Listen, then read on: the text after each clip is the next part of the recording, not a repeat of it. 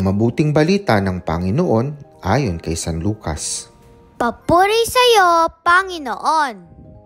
Taon-taon tuwing pista ng Pasko, ang mga magulang ni Jesus ay pumupunta sa Jerusalem. At nang labindalawang taon na siya, pumaroon sila gaya ng dati nilang ginagawa. Pagkatapos ng pista, sila umuwi na. Nagpaiwan si Jesus sa Jerusalem ngunit hindi ito napansin ng kanyang magulang. Sa pag-aakala ng isa na si Jesus ay kasama ng isa, nagpatuloy sila sa maghapong paglalakbay. Nang malaman nilang hindi siya kasama, siya'y hinanap nila sa kanilang mga kamag-anak at kakilala. Hindi nila siya matagpuan, kaya't bumalik sila sa Jerusalem upang doon hanapin. At nang ikatlong araw natagpuan nila si Jesus sa loob ng templo. Nakaupong kasama ng mga guro. Nakikinig siya sa kanila at nagtatanong. At ang lahat ng nakarinig sa kanya ay namangha sa kanyang katalinuhan. Nagtaka rin ang kanyang mga magulang nang siya'y makita. Sinabi ng kanyang ina, Anak, bakit naman ganyan ang ginawa mo sa amin? Balisang balisa na kami ng iyong ama sa paghahanap sa iyo. Sumagot siya, Bakit po ninyo ako hinahanap? Hindi ba ninyo alam na ako'y dapat nasa bahay ng aking ama? Ngunit hindi nila naunawaan ang pananalitang ito.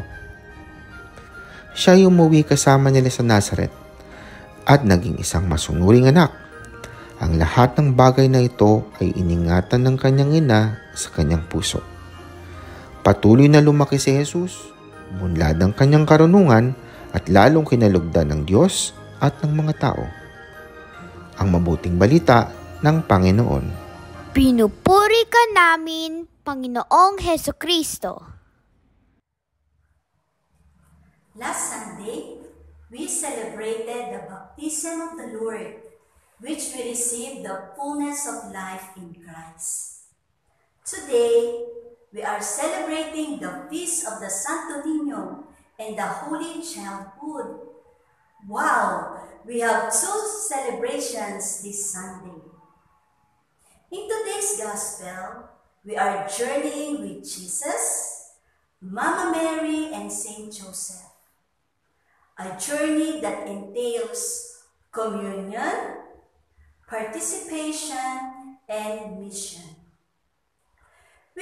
Imagine the happy journey of the Holy Family. The journey together from Nazareth to Jerusalem. They participated what is required by their own custom.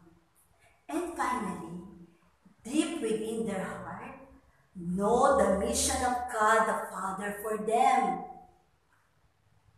We can see how Jesus entrusted himself to his parents. Being a child, he manifested his love and trust to them. Brothers and sisters, young and old, we are all called to participate in the missions of God, especially in this time of pandemic. As Christian, I urge you to live a life worthy of the calling you have received. As students, professionals, catechists, and preachers. Be a missionary to others by helping them spiritually and temporally. In doing some acts of kindness and goodness to others, we become true God's image that intends to fill us up with His truth, His way of holiness, and His very life.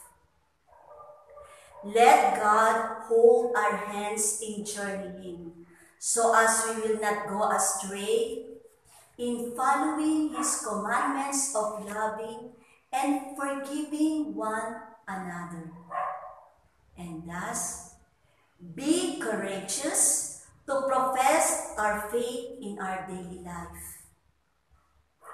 Children, like the child Jesus, be always obedient to your parents and continue to do some acts of charity to other children as you increase in wisdom and age.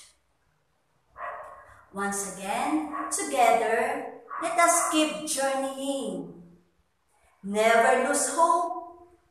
Hold always the hands of the Blessed Virgin Mary by praying the Holy Rosary and faithfully receive the sacraments, especially the sacrament of the Holy Eucharist, which gives us strength to do our daily Christian life. Have a happy and grace-filled celebrations of the Feast of the Santo Niño and Holy Childhood Sunday.